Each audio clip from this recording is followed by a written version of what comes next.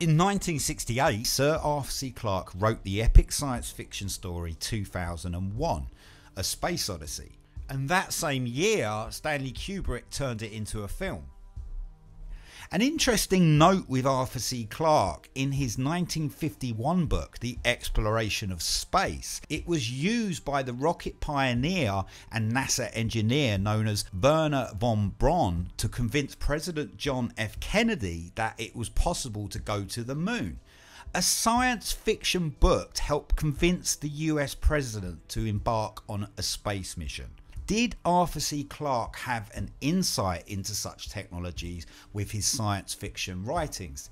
Did Arthur C. Clarke have some kind of access to an occult technology which a secret society had given him?